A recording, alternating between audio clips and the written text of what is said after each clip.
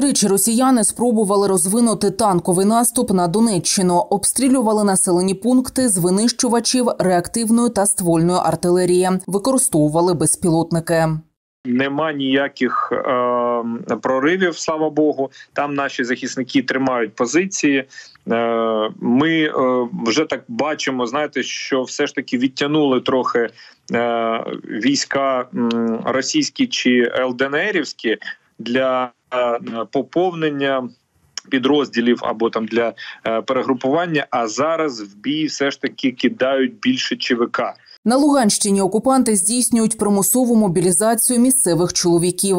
у Хрустальному. Чоловіків хватають, досі таке відбувається. Їх хватають, машини саджають. Багато хто сидить вдома і боїться вийти. Жінки ховають своїх чоловіків. Хто не встиг сховати, то їх забирають одразу воювати. Вони роблять вигляд, що вони відбудовують місто щастя, і це вони показушно роблять. За останню добу армія Російської Федерації завдала по Луганщині три ракетні удари, здійснювала масовані артилерійські та мінометні атаки. Данило Черниченко. Новини на Суспільному. Донбас.